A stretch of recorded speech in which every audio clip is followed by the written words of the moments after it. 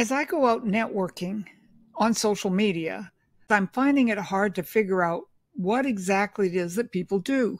I'm finding that people are using jargon, long, confusing lists, or nothing that leaves a clue to who they are and what they do.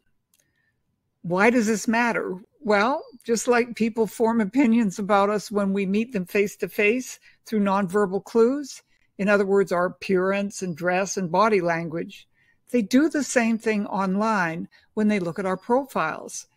Based on what they see, they will determine if they want to engage or do business with you.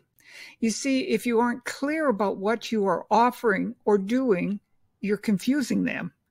And the truth is, a confused mind does nothing. Let me see how I can easily fix that for you. Hi, I'm Lorna Rasmussen, and I'm devoted to helping you build a profitable business so you can live the life of your dreams, whatever that dream may be. For me, it's living here in Costa Rica.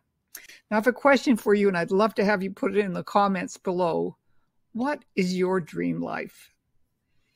Whatever it is, my guess is that your business is part of your plan to live that dream. So you are likely, as I was in my business, looking for every way you can to be successful. You're putting yourself out there to make a difference, to impact people's lives, and yes, to make money. So when I look at your LinkedIn or your Facebook profile, do I understand what you do? Not what company you represent, nor what products you're selling, but what do you do to make that difference, to make that impact, and by doing so, to make a difference? All too often I'm seeing this entrepreneur slash skyrocket your business slash health, wellness, and wealth slash skincare, abundance, spiritual life. That was all under one person's name. These look like lists that they put up with the hope that they will hit the mark with somebody. Please believe me, I'm not picking on these people. I'm simply pointing out that by listing everything you do, you leave people not knowing what it is you do. But then the opposite is also true. Under some names I've just seen recently, I'm seeing wellness advocate. And I'm wondering, what is that? Is it a job title? A declaration of what's important to them? What does it even mean? And then you end up thinking, either consciously or unconsciously, am I a prospect for whatever it is that this person is offering? The truth is that when we engage with someone, we want to know what's in it for me. Why would I want to do business with this person or even get to know them?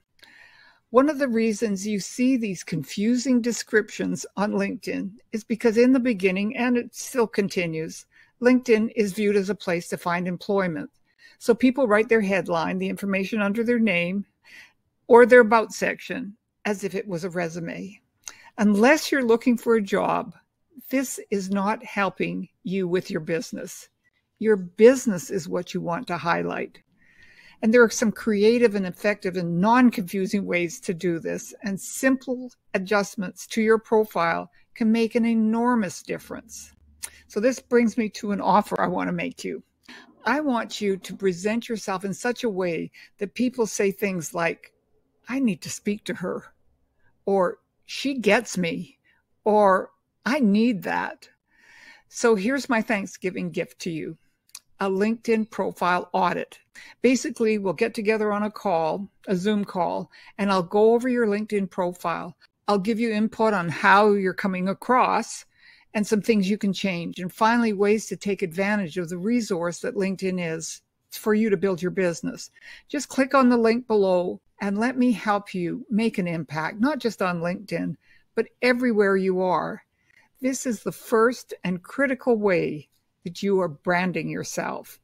And I look forward to seeing you on the next video because I believe that this profession we're in is the best way for women to make money and make impact.